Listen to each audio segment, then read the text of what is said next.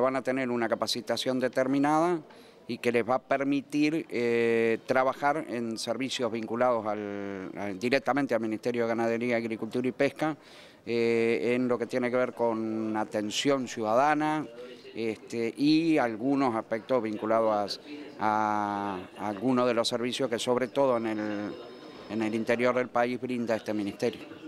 ¿Cuándo comienzan, comienzan los jóvenes a, trabajar? Eh, hay una cuestión de implementación que va a ser lo más inmediata posible, que como le dije requiere una, capacitación previa.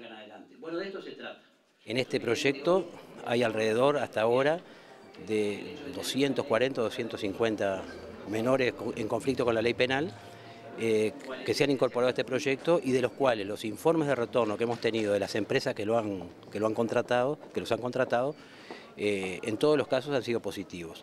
Eso sería un indicador de que, del éxito de este proyecto.